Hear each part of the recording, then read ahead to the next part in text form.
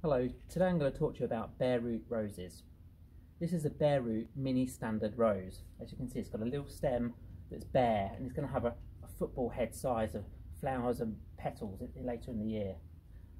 As described, it's bare root, which simply means it's a plant that's been grown in the field and dug up and it's completely bare of any soil. So the first thing to do when this arrives is get it into a bucket of water simply pop it in and you can leave it there for two or three days just to soak up the water and keep those roots moist. Then, when you're ready to plant properly, get a container, make sure it's got some drainage holes in the bottom, and place it centrally to the pot. Make sure you curl those roots in. And simply, with a good container compost, hold it firm with one hand whilst filling container with the other.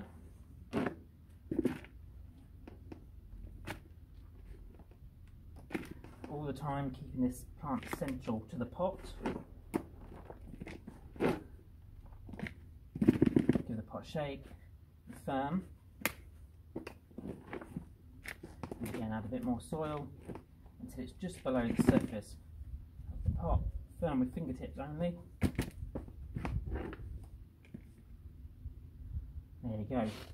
All done. Simple as that. Give it a bit of water when you're first finished, and then probably don't water again until the surface of the so soil fe feels dry. After that, this rose will make a lovely rounded football head of petals and flowers, and will look absolutely stunning. Thank you.